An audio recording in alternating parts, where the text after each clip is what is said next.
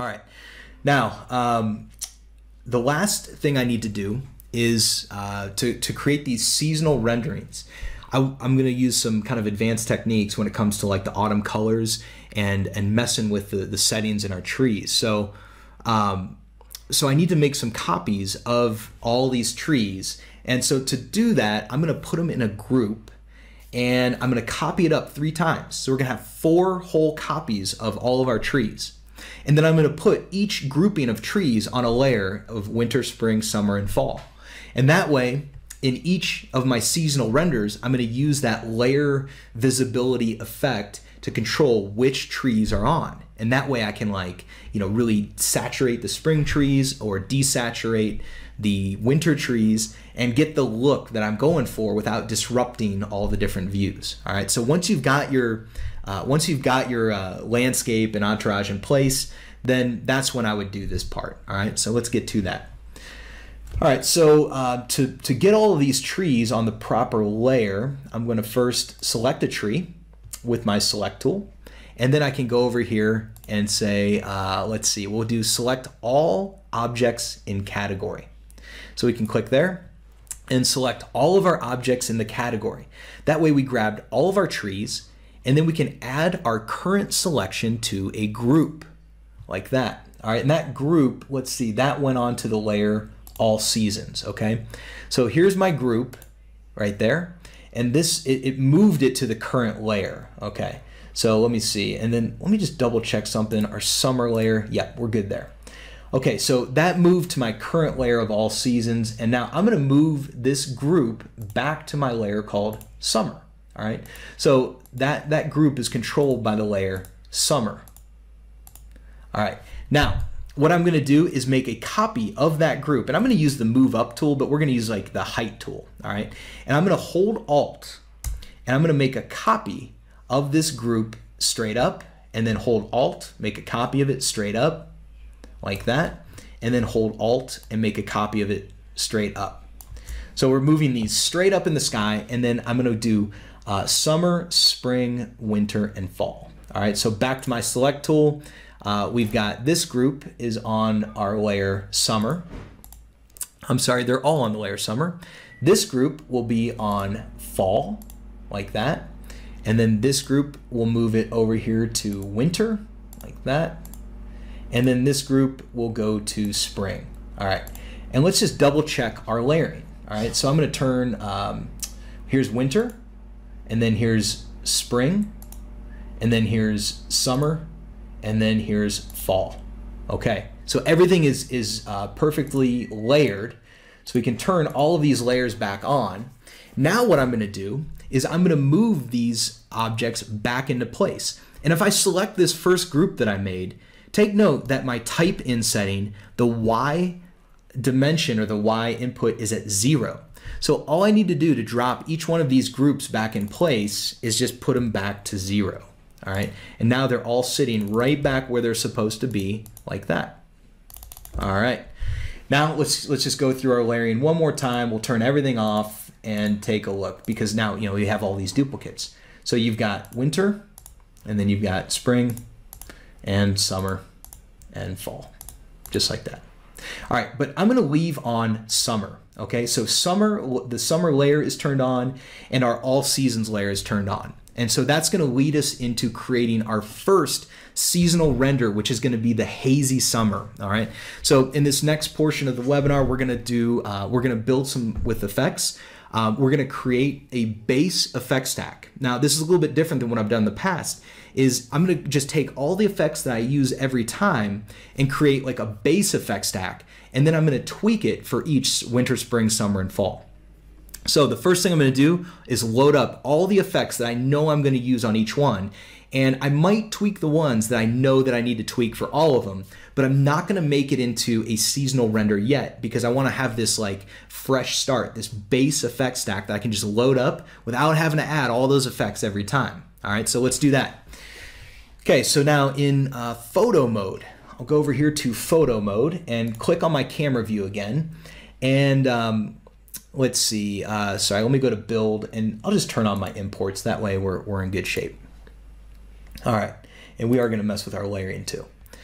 Okay, so we're gonna add all the effects. I'm gonna move kind of quick through this one. So we'll just add an effect. I can tell you that the first effect that we always add is a real sky. That is what sets the mood. And then I would probably adjust my heading uh, just to get it to look, you know, kind of where I want it to be there. All right, so that's cool. Uh, we won't go too far into any of these. So if I add a real sky, then I know that I need to have skylight. We want that one turned on. Uh, let's add another one. Uh, we're gonna go with shadow. Uh, these are going to be exterior shadows. I always dial Omni Shadow all the way up, no matter what. And I always turn on my soft shadows because look at this. I mean, here's like the hard shadows. Here's the soft shadows. I mean, that is outstanding how much better that looks. And then fine detail shadows, I always want those turned on in all of my renderings too. Uh, I might tweak the brightness. You know, sometimes the shadows get a little bit dark, but that's pretty much what I do for every single render, whether it's uh, regardless of the season. All right, we definitely need reflections. Uh, the preview quality, I, I would I would usually set that to low. All right, but let's let's just take a look at reflections real quick. Again, these are all the effects that I know I'm going to need in every single um, in, in, every single uh, uh, image that I render. All right, so check this out. Here's the need for reflections. When I when I go by here, uh, you can see that like you know the the sun and and the reflections are just not exactly perfect, right? So like as I go through here, I'm not seeing everything reflecting the way it should be.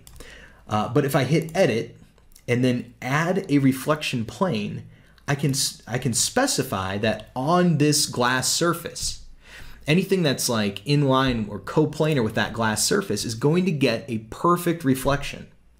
So we'll do one there, and then we'll do one, let's see, let's go over here and uh, we'll add a reflection to our ground here and add one there because I know we're gonna need some reflectivity there. All right, so now check this out. When I go through here, you can see I'm getting those nice clean reflections. So uh, let me do high quality just for the preview. All right, but we'll go uh, speed ray on always, and I always keep my my preview quality low. All right, so uh, you'll you'll really start to bog down. Like when you're working fast and you know that a setting is supposed to be a certain way, uh, you don't need to always preview it. So global global illumination is a tricky one. You got to turn the, the preview quality way down there. And then also your reflections, that will bog you down severely. So make sure your preview quality is low there too. All right, so we'll go back to our view here. Um, while I'm at it, I'm just gonna name this one. I'll call this one summer, like that. And uh, we'll, we'll go back to our effect stack. So we got our reflections in there. Um, skylight, hyperlight, we're all good there. On camera, I'm gonna go, I always do two point perspective. Uh, that's gonna give you know, kind of adjust that um, distortion. Uh, we'll add another effect. I go with handheld camera and I tend to just dial up the film age.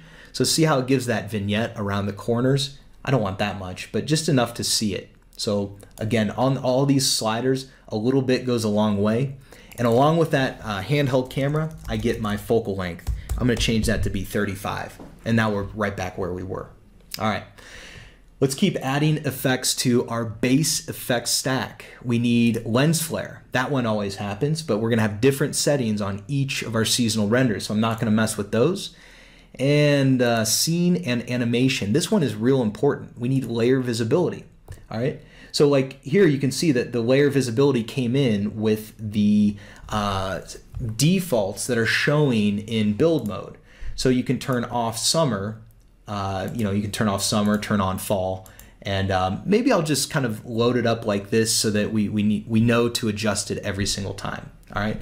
So what we're going to want on in every single seasonal render that we do is going to be imports and all seasons. So I think we're good there. Let's keep rolling through and build that base effect stack. We've got our layer visibility. You can see that it tells you when it's already in use. Uh, weather and climate, uh, we did our real skies. We will be using some precipitation and autumn colors, but these are not effects that we use every time. Outlines. I think these are really cool. We've really picked up on outlines lately. And so what I do with that is I turn the transparency all the way up and then knock the outline density pretty far down, maybe 0.4. And you can see there, you just get these nice kind of uh, uh, artistic effect. I like them. I think it just takes the edge off. You know, it's it's not quite as photo real, but it's it's somewhere in between. and then we'll go to our effects, and then I do like to add noise. Um, the intensity, you definitely don't want it max power. You really just want it enough to kind of see that it's happening, and in my opinion, it looks cool. Um, we'll do that. And the last one would be color correction, and we're good to go. And so each one of these effects that I've added, they're, they're gonna have, they're, they're gonna be tweaked, but we want this base effect stack. So you can see here on my screen, we've got at the left-hand side, uh, from bottom up, you know, that's how they stack in order. And we also have a second page here of real skies, all right? So I'm gonna save this. I'll click on this menu and go to File and choose Save Effects. And I'm gonna call this one, uh, you can see that I've been working in here already and kind of goofing around. I'll just get rid of some of these. I'm gonna call this one BD underscore base effects, like that. So this way, it's kind of a default setting so that every time that I start a new seasonal rendering, I have things all set up the way I want it. And then I can just start moving moving the, the uh, sliders and pulling the levers to make it look like that seasonal render, whether it's um, the hazy, warm summer day or that cool, crisp fall day. Um, or that dreary winter evening. So that's the idea here. So um, we've got the base effect stack in place. We've saved it. And so now let's start tweaking this and making that hazy summer effect.